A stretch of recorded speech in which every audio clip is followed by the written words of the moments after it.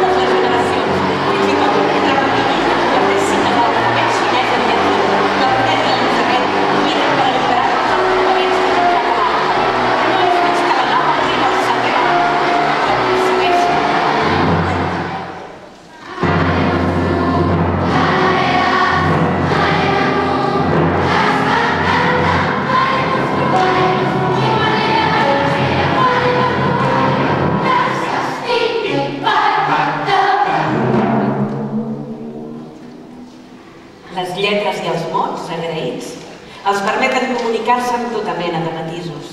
L'Alf i la Bet ja no són aquells dos joves primitius. Per fi, l'Alf ja es veu capaç de dir què sent per ella sense espantar-la.